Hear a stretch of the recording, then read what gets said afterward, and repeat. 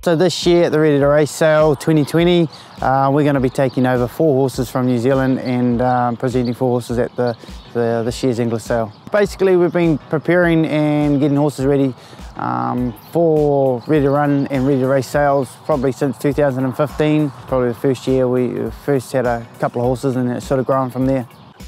The Ocean Park Fast Quick Step, he stands over a lot of ground, always had a great walk, you know, really well balanced horse and, and he showed that in, in his breeze up. He's got a lovely action. I just think he represents a lot of what his pedigree suggests, you know, he's out of a fast and famous mare who's in turn out of a um, Rory's Jester mare, so there's a bit of speed there and, and probably the X factor with Ocean Park on top. The Regis Colt, um, he's always been a natural right from day one and um, he's a horse that just grew and grew and grew on us and with partners with Windsor Park there, um, you know, they suggested he might be the right type and as he grew, he just really filled out to a nice horse.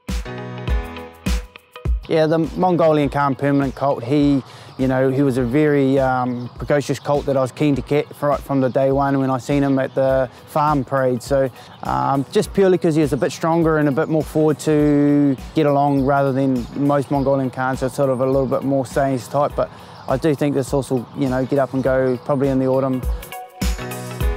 The No Nay Never Danilicious filly was one we actually um, First horse that we bought from um, Australia and out of the Inglis sale in Melbourne. We, we come away with a really nice filly um, and right from the time I got on her back, she, she produced a little bit of X factor. Her, her stride and her, her length of walk was always just beautiful and uh, really well sort of put together filly.